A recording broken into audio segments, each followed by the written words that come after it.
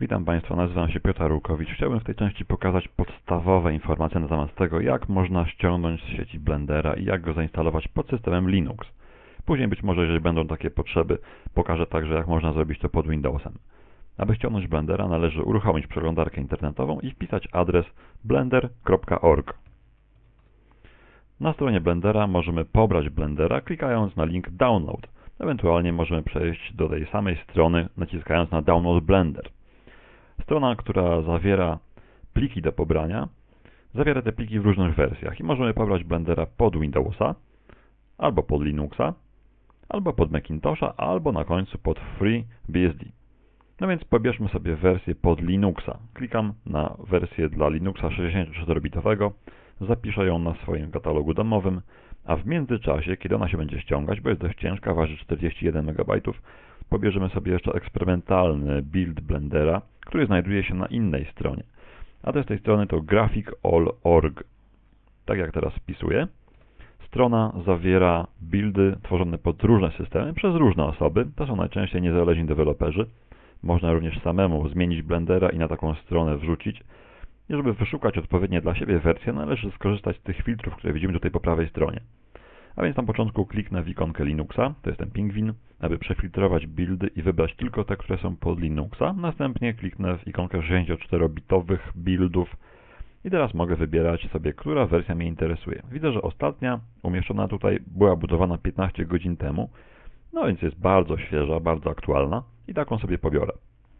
Klikam w tą wersję i teraz na kolejnej stronie wyświetla mi się o niej informacja. To zależy od tego oczywiście, co dany deweloper wpisał. Natomiast tutaj widzimy całkiem ładnie zebrane informacje na temat tego, jakie są biblioteki wbudowane w Blendera. No i to, co tutaj widzę, całkiem mi odpowiada. W związku z tym taką wersję mogę sobie pobrać. Dodatkowo warto przeczytać do końca, ponieważ czasami są podane też podpowiedzi, co zrobić, aby wersja pod Linuxem działała. Na przykład pod wersją Ubuntu, na której była budowana, trzeba było doinstalować jeszcze parę bibliotek, wykonując taką linijkę terminalu oczywiście. Ja to już zrobiłem wcześniej, w związku z tym wersję możemy sobie spokojnie pobrać i również zapiszemy ją w katalogu domowym. Oczywiście normalnie pobieram wersję do innego katalogu, ale dla potrzeb tego tutorialu mogą być także w katalogu domowym. Mam już obie wersje pobrane. Otworzę sobie teraz okno z terminalem, ponieważ lubię pracować w terminalu. To jest fajne narzędzie, dobre dla ludzi dedykowanych Linuxowi. I teraz w tym terminalu trzeba wyświetlić sobie pliki. Normalnie robi się to poleceniem ls-l, ale ja zrobiłem sobie krótsze polecenie, które nazywa się po prostu l. Wpisałem je tutaj i mam już listę plików. To, co znaczą te wszystkie informacje, nie jest do końca ważne. Ważne jest tylko to, że na niebiesko mam zaznaczone katalogi, a moje pliki ściągnięte przed chwilką są tutaj. Teraz je właśnie zaznaczam. Ok, zacznijmy może od tego pliku, który nazywa się słowem Blender i później jakimiś tam dodatkowymi rzeczami. Aby rozpakować ten plik, należy napisać polecenie rozpakowujące. I teraz wystarczy zrobić to tak. Napiszę tar j x v f, które oznacza rozpakuj plik pakowany bezipem, rozpakuj go w ogóle, rozpakuj go z wyświetlaniem informacji i niech to będzie praca na plikach właśnie. To historyczna opcja. Po podaniu takich opcji podaję nazwę pliku, dopełniając ją tabulatorem, aby napisała się szybko cała. Nie trzeba wpisywać wszystkich liter. No i naciskam Enter. I mam rozpakowane. Jeszcze chwila, trwa może dłużej lub krócej. Teraz jak wyświetlę pliki, to widzę, że w moim katalogu domowym pojawił się nowy katalog. To jest katalog właśnie pochodzący z rozpakowania tego pliku, który teraz zaznaczam. Wchodzę do tego katalogu. No i teraz w środku widzę, że znajduje się tutaj Blender, którego mogę uruchomić. Aby uruchomić właśnie tego Blendera leżącego w tym właśnie katalogu, muszę napisać jego nazwę, poprzedzając ją kropką i ukośnikiem. Standardowy Linuxowy sposób. Oznacza po prostu bieżący katalog. Taka metoda powinna zawsze działać. Uruchamiam program, no i jak widzę, elegancko się uruchomił. Wszystko działa. Możemy jeszcze zrobić jakiś render. Jak widać, działa. Mogę jeszcze sprawdzić, czy jest Cycles. Jest Cycles. Jeżeli go wybiorę, to po prawej stronie powinienem widzieć, na czym będzie się odbywało renderowanie. Teraz to będzie renderowanie na procesorze. Ok, już jest wyrenderowane, zajęło to 78 sekundy. Mogę również przełączyć się na GPU, wyrenderować to na karcie graficznej, jest też dwa razy szybciej, bardzo fajnie. Mogę również włączyć sobie opcje eksperymentalne i wyrenderować używając bibliotek CUDA, które powinny być jeszcze szybsze. No jak widać, troszeczkę szybciej liczy. Ok, normalnie może się okazać, że taki Blender będzie wymagał przekompilowania swoich własnych kodów renderujących obrazki i będzie trzeba po prostu parę minut poczekać.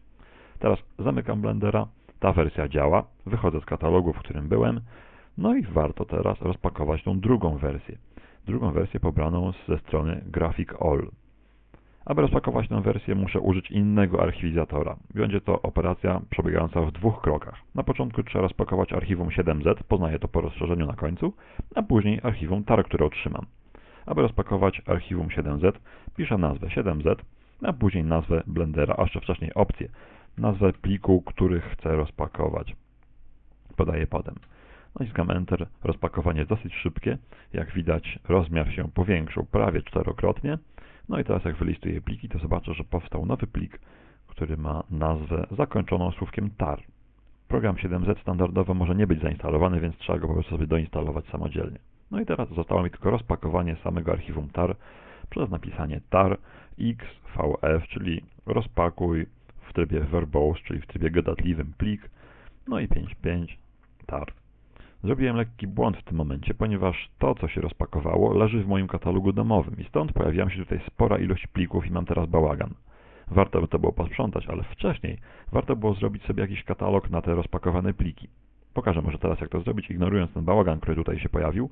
Można było zrobić to tak, że po prostu piszemy sobie mkdir blender, co tworzy nam katalog blender. O, chyba nawet taki katalog nie istnieje, taki plik, proszę zobaczyć, dlatego mi się to nie udało. Więc zróbmy sobie coś takiego, mkdir blender wielkimi literami. Teraz już ten katalog może istnieć, ponieważ jego wielkość liter się różni od nazwy programu, który tutaj leży. Linux pozwala na takie rzeczy, pod Windowsem to by nie działało.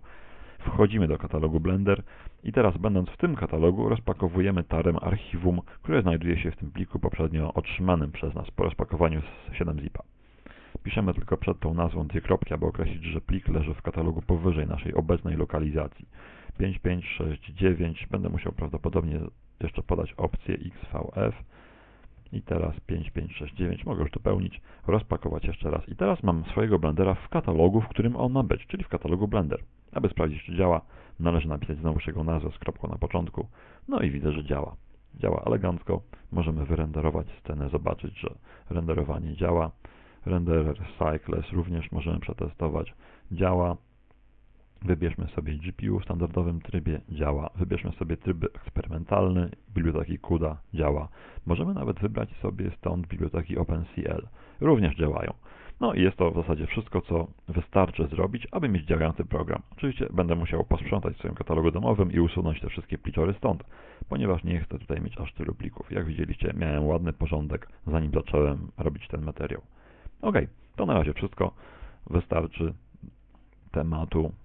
Dziękuję za uwagę i do ponownego spotkania.